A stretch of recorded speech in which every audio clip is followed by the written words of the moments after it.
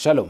Hoje vamos falar sobre Shevish el Pesach. Shevish el Pesach é a última, último dia aqui fora de Israel. Os últimos dois dias do Pesach, sétimo dia de Pesach, conhecido como sétimo dia de Pesach. Na verdade aqui é sétimo e oitavo dia de Pesach, como nós fazemos todos os Yom Tov. E que se festeja aqui neste último dia? Não tem ceder, não tem nada. Não tem. Que, que se festeja? Neste dia se abriu o mar. Depois de sete dias da saída do Egito, Deus fez acampar o povo frente ao mar e Paró veio com o restante de seu exército atrás de Israel, porque eles prometeram que em três dias iam voltar. Eles saíram e já passaram sete. Ele mandou espiões juntos e os espiões foram três dias, voltaram três dias, quer dizer que a Israel se afastou já sétimo. No sétimo dia eles se encontram na beira do Yam Suf. E aí acontece a abertura do mar, e isso que nós festejamos no sétimo dia de Pesach. Muito bom, esta é a história. Mas o versículo, no trecho que a gente lê, que é a Perashat Beshalach, que a gente lê neste dia de Shevish el Pesach, tem um versículo, no capítulo 14 do livro de Shemot, versículo 10, que diz o seguinte, o faraó e Kriv, e Faraó, a tradução literal seria aproximou-se, ויסעו בני ישראל, e עם ישראל levantou seus olhos, והנה מצרים נוסע אחריהם, e é que o Egito está viajando em direção atrás deles, ויראו מאוד, e tiveram medo. ויצעקו בני ישראל להשם, e começaram a suplicar e a rezar para Hashem. Este é o versículo.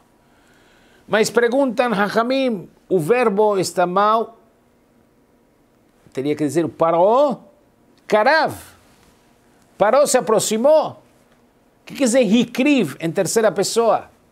E Paró aproximou ele, mas é hikriv.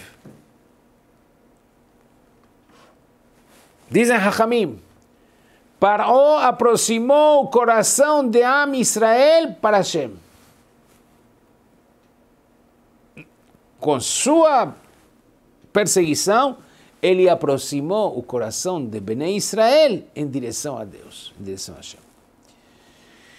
E dizem Hachamim que isso se compara a uma águia que está perseguindo uma pomba e vem descendo, voando, zoom, direto em direção à pomba, e a pomba vê que a águia está se aproximando cada vez mais. E ela não encontra um lugar para se esconder até que ela encontra uma rachadura numa rocha. E ela entra lá, e a águia não consegue entrar. Mas quando entra ela na rachadura da rocha, a pomba vê que tem uma cobra de dentro que está saindo em direção a, para fora para ela. Então, de um lado tem a cobra e do outro lado tem a águia. Diz a Hachamim, assim a Israel, de um lado tinha o mar e do outro lado tinha Paró perseguindo. Não tinham para onde fugir. Que fizeram? Vai Yitzhaku bene Israel el Hashem. Mas o mais interessante de tudo isso, que o Midrash interpreta um versículo em Shira Shirim com esta questão. E diz assim, o Pasuk diz assim, Yonati bechakve asela, minha pomba está escondida entre as rochas. Besetera Madregá está escondida. ¿Qué fazemos? Continua o versículo em Shirashirim, capítulo 2, versículo 14. Ashmieni et kolech, diz Hashem, me deixa ouvir sua voz. Harini et me mostra sua aparência, que kolech arev umarech nave, pois sua voz é agradável para mim e sua aparência é bela para mim. Diz a Kadosh Baruch para aí isso estava desejando. Eu queria ouvir a voz de vocês de novo. Quando a Israel estava subjugado e pressionado e oprimido por os egípcios durante 210 anos, em um momento que Paró morre e teve luto nacional e ninguém trabalhou, que fizeram a Israel? Vaizaku ben Israel el Hashem. Rezaram, Vatal Shavatam el Hashem, el Elohim, como diz a Perashan Shemot. Mas quando eles começam a sair de Mitzrayim, eles esqueceram um pouco de Hashem. Não rezaram com a mesma intenção, com o mesmo sentimento. Então Hashem traz eles em uma situação de aperto. Para quê? Porque Hashem está querendo ouvir. Eu queria ouvir suas rezas. Eu queria ouvir a sua voz. Eu queria ver sua aparência. A causa está esperando nossas rezas.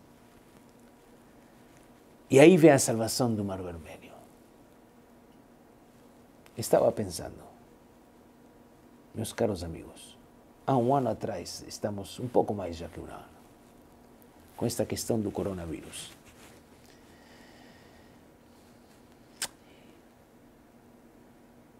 E a pessoa se sente oprimida por todos lados. Onde está a solução?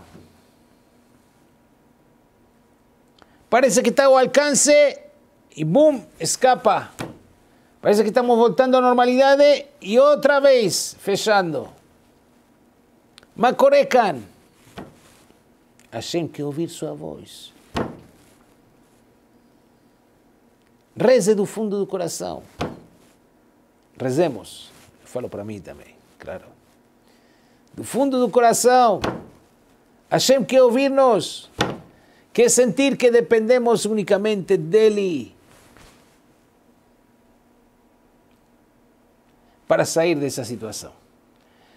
Um ponto de reflexão sobre Shevish el Pesach. E assim como eles tiveram a salvação, que se abriu o mar vermelho, e todos saíram na grande salvação, que logo, logo nós tenhamos, tenhamos também a salvação e sair deste grande problema que a gente se encontra, se Deus quiser. E Bezrat Hashem, todos voltemos para o Mashiach, com Mashiach para Eretz Israel.